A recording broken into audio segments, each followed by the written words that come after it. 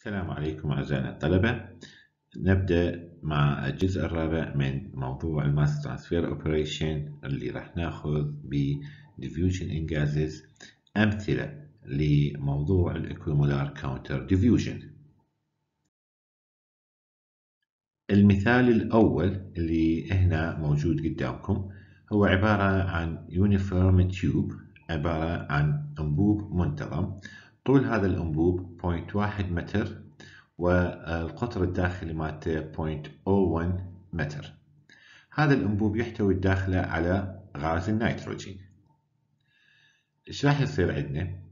راح يجي عندنا غاز الأمونيا اللي إحنا نعتبره هو للمادة A اللي هي هاي المادة A. إحنا نعتبره هو مادة A ومو دائما هو يكتب المادة A. بس هنا لأنه أول example راح يسهل الأمور عليكم. بس إحنا نقدر نعتبر راح نعرف بأنه هو المادة A من كلمة هو جاي يقول عندنا diffusing diffusing.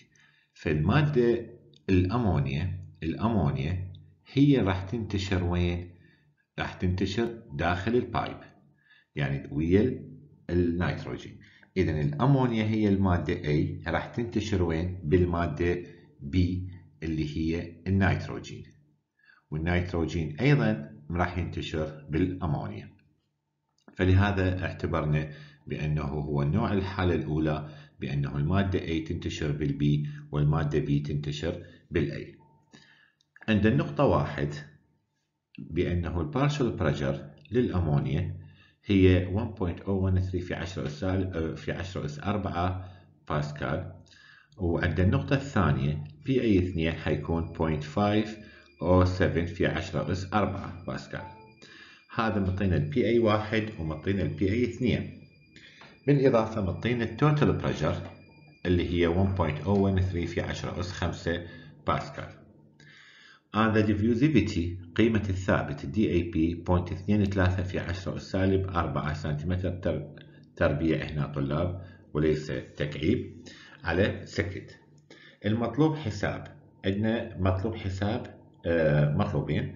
ال fluxes of A and B at temperature 298 كلفن ال fluxes هنا أقصد بها ال NA طال ال N. طالب من عندنا حساب ال NA وال NB المطلوب الثاني the rate of mass transfer. The rate of mass transfer for species A and B. ال rate of mass transfer هسه راح نعرفه بهذا السؤال هو شو يقصد بال rate of mass transfer ال fluxes بالمطلوب الأول هو rate of mole flow rate بالمطلوب الثاني the rate of mass transfer يختلف عن ال fluxes. من يقول rate of mass transfer يختلف عن ال fluxes. هسه راح نشوفه. نجي نبدي نحل. عندنا أول مطلوب راح نحل ال fluxes اللي هو يطلب من عندنا قيمة ال NA وقيمة ال NB قيمة ال NB إذا كان closed system اللي هو دا نشتغل به يقصد به closed system بأنه المادة A هي اللي تنتشر بالمادة B والمادة B تنتشر بالمادة A.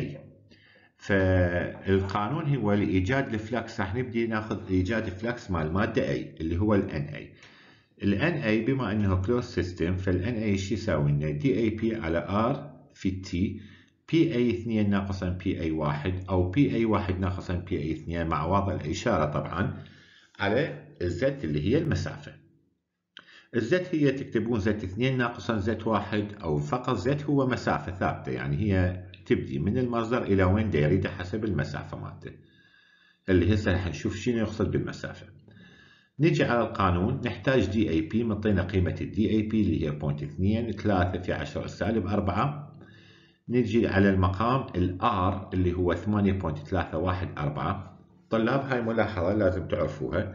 قيمة ال R تعتمد على الوحدات السؤال اللي هي الثابت ال constant وخلوها ببالكم بأنه أني ترى ما أنطي قيمة ال R بالسؤال لأنه المفروض أنتم تحفظوها حافظيها حسب نوع الوحدات وهي الوحدات عادة تكون أما بالسنتيمتر بالمتر بالباسكال بالنيوتن فحسب الوحدات المعطيكم إياها. هي تقريبا نوعين أو ثلاثة من ال R كقيم اللي موجودة نأخذها بال example خلال هذا الكورس.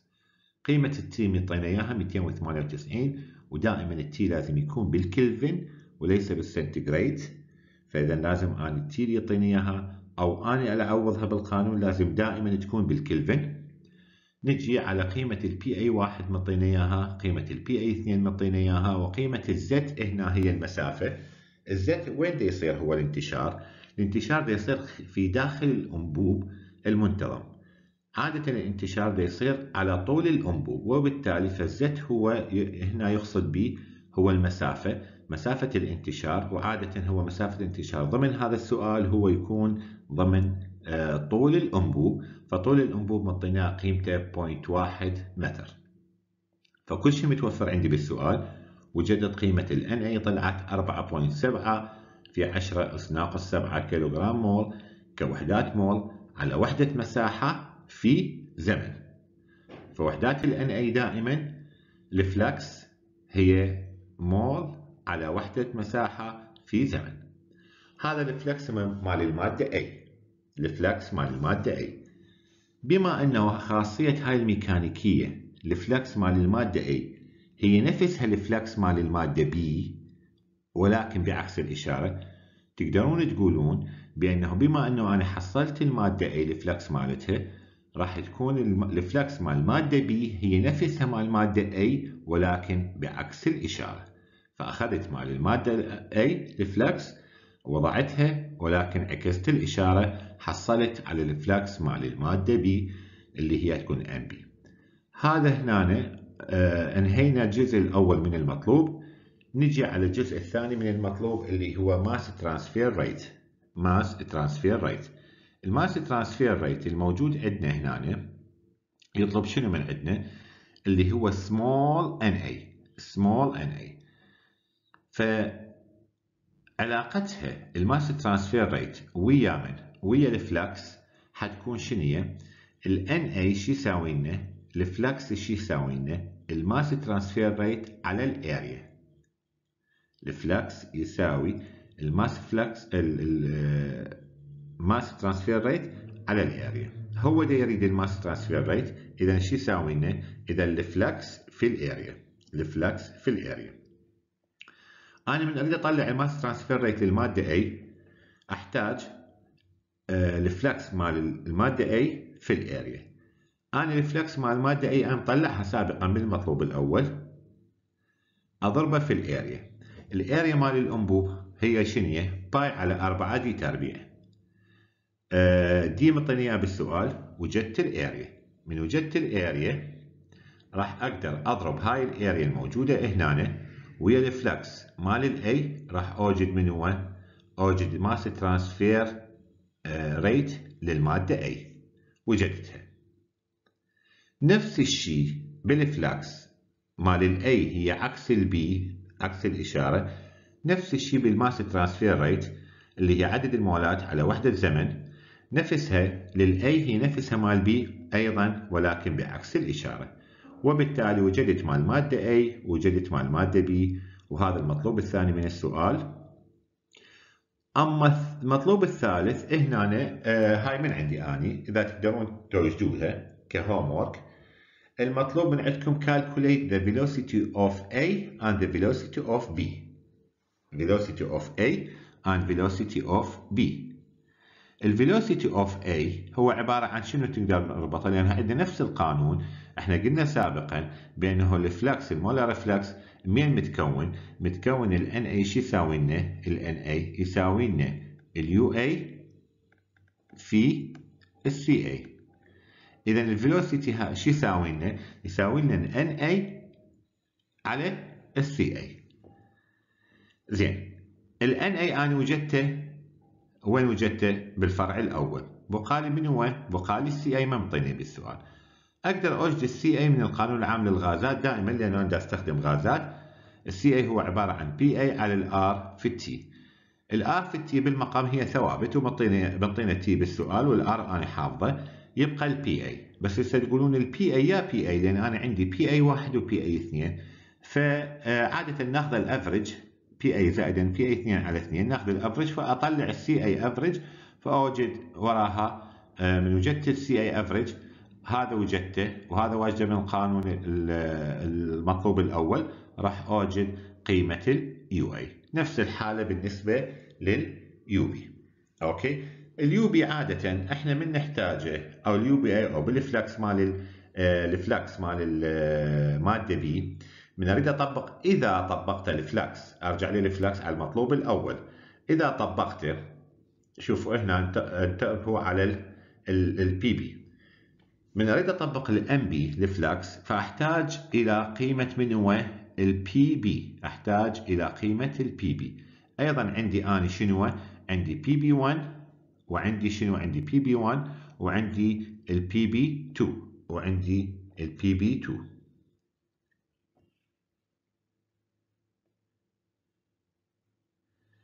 اذني احتاجهن من أريد ال flux مال مادة B زين. ما أسويها إذا ما أريد أسويها عن قانون ال NA نفس القيمة وعكس الإشارة فأحتاج إلى partial pressure مال ماده B ال partial pressure مال ماده B أحتاج مو قلنا PB 1 فال PB 1 هو عبارة عن ال total pressure شنو؟ ناقصا ال PA 1 إذا أحتاج ال PB 1 عبارة عن total pressure هذا مطيني بالسؤال. ناقصا ال PA 1 مطيني بالسؤال أوجد ال PB 1 ونفس الحالة من أريد أوجد ال PB 2 عبارة عن total pressure ناقصا شنو؟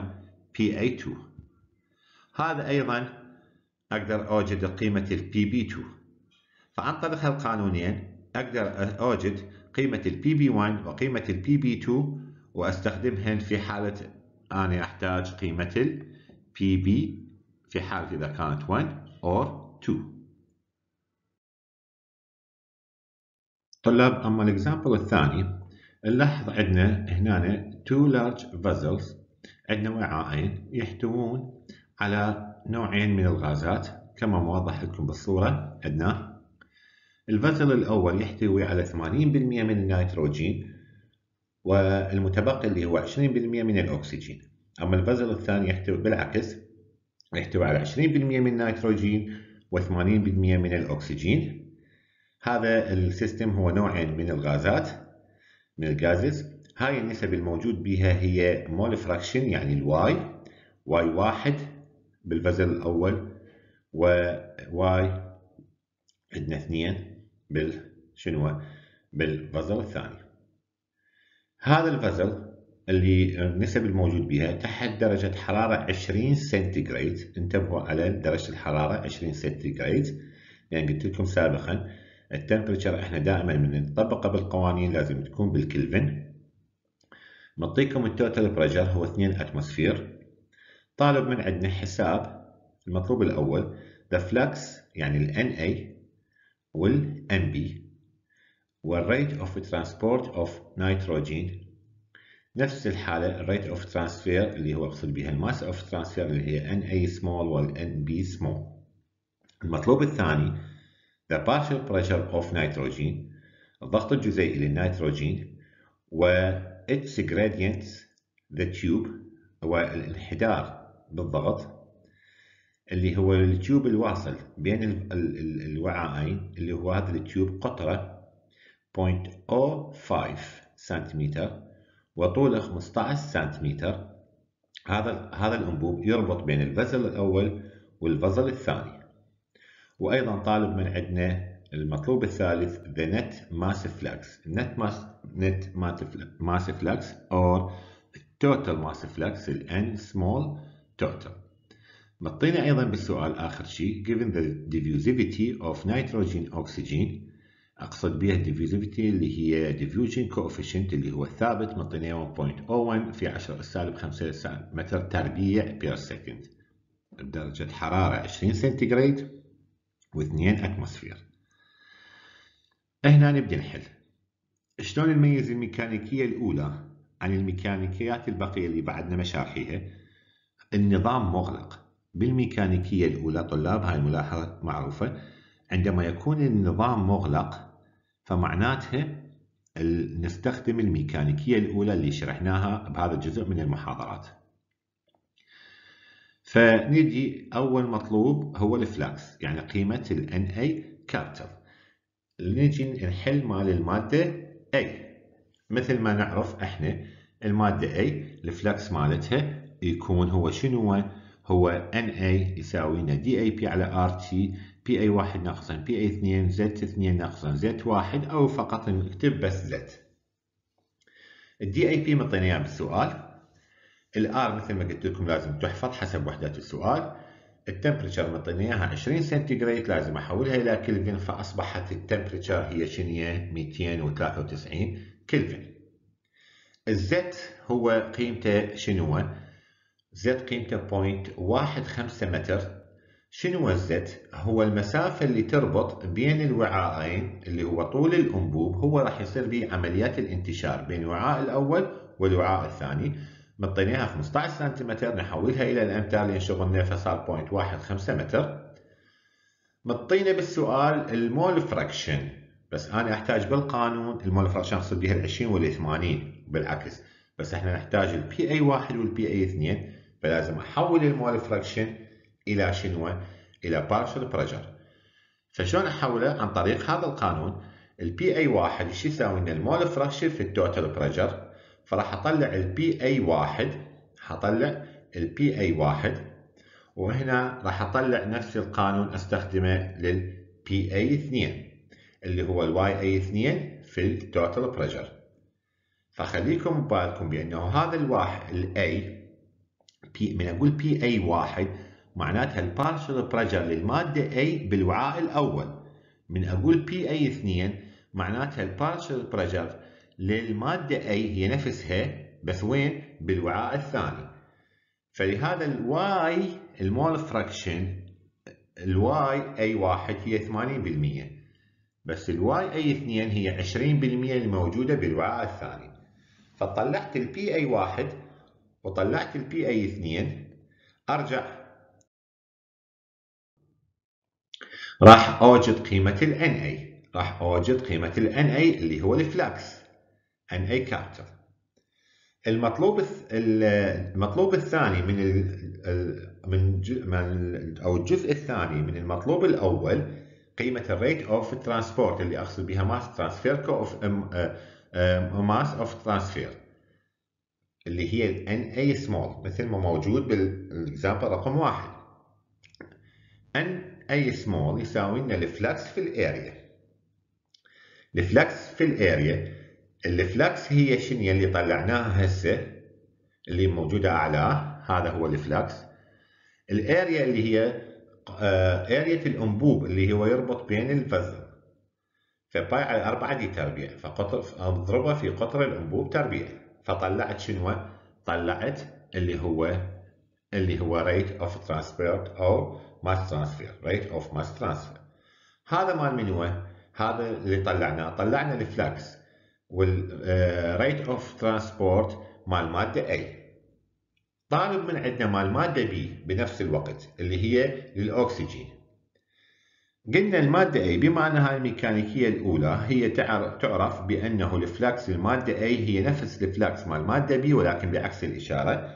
بما أنه أنا طلعت ال NA أقدر أقول ال NB هي نفسها ال NA ولكن بعكس الإشارة. مو بس هذا حتى ال rate of transport اللي هو N small ال NA small يساوي لنا نفس ال NB ولكن بعكس الإشارة. فقط تكتبوها نفسها بس تغيرون الإشارة مالتها مثل ما هو موضح قدامكم النتائج موجودة. هذا بالنسبة للمطلوب الأول.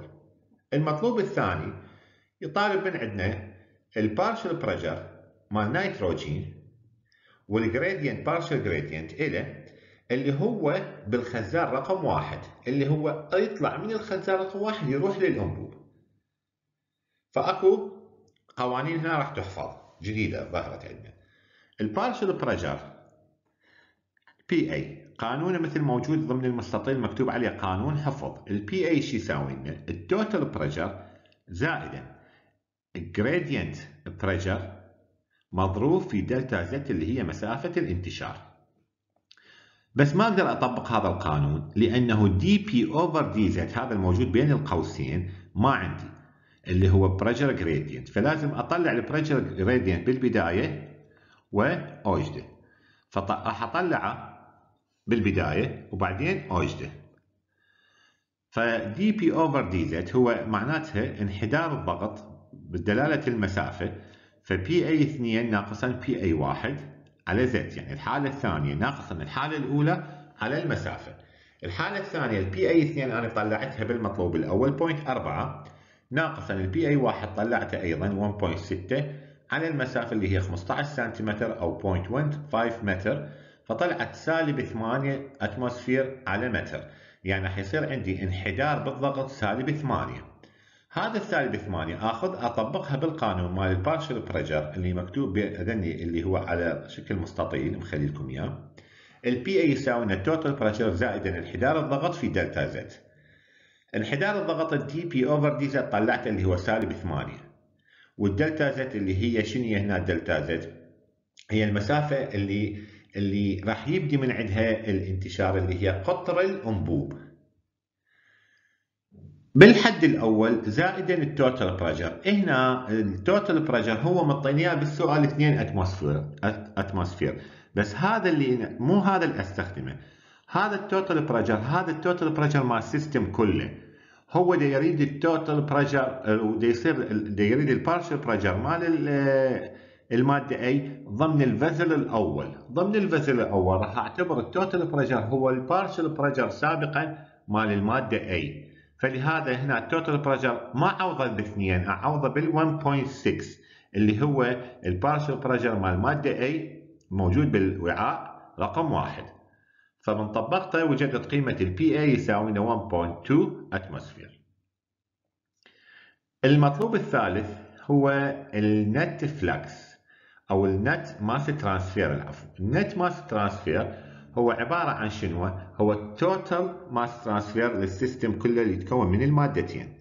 من أريد أطلعه فأريد أطلعه. من يقول لي نوت net flux أقصد بها هو ال flux. أقصد بها ال flux. معناتها ال flux مال مادة A أضربها في الوزن الجزيئي مالتها زائدا ال flux مال مادة B أضربها في الوزن الجزيئي مالتها. okay؟ بس لازم شو أسوي؟ لازم أضربها في الوزن الجزيئي على مود أحوله بدلالة شنو؟ بدلالة المولات. فايش راح يصير عندنا آه ال NA في الوزن الجزيئي مال ال A زائدا ال NB في الوزن الجزيئي مالته فقدرت أطلع ال net flux اللي هو دا يطلب من عندي بالسؤال. بس هنا ال flux اللي موجود هو دا يقول mass flux يعني شو أسوي mass flux لازم احوله بدلالة شنو الوزن. فهنا عندكم هذا أكو خطأ. هنا المفروض يكون كيلوغرام.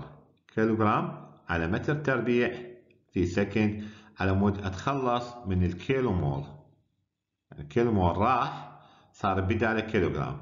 لأن عادة هو ال flux يكون بدلالة من هو؟ بدلالة الكيلو مول ال flux يكون بدلالة الكيلو مول هذا. فهنا هو من طلب من عندي بالسؤال mass flux net mass flux يعني بدلالة ال mass وليس بدلالة المولات. فهنا بس تغيروها طلاب كيلو مول يتكون مع طول ضربت في الوزن الجزيئي راح تخلص من من المولات ويتحول إلى كيلوغرام.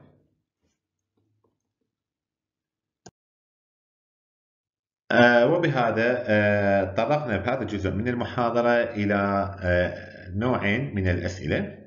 لحساب قيمة ال flux لحساب قيمة ال mass transfer لحساب قيمة عندكم ال pressure partial pressure pressure gradient تعرفنا على قوانين جديدة. فأرجو أن يكون الموضوع الآن كامل قدامكم.